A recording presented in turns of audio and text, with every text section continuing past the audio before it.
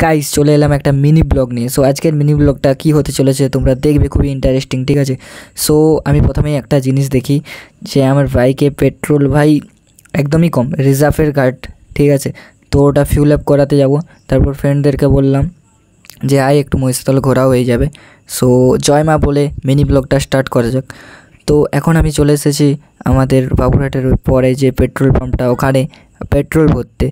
So এখানে fuel up করব। তো এখানে ফিউল আপ কমপ্লিট করে যাচ্ছিলাম। জাস্ট এইবার দেখো কী হবে।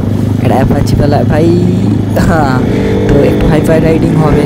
সো এনজয় করো। প্লিজ কেউ ট্রাই করো না এরকম, বুঝলে?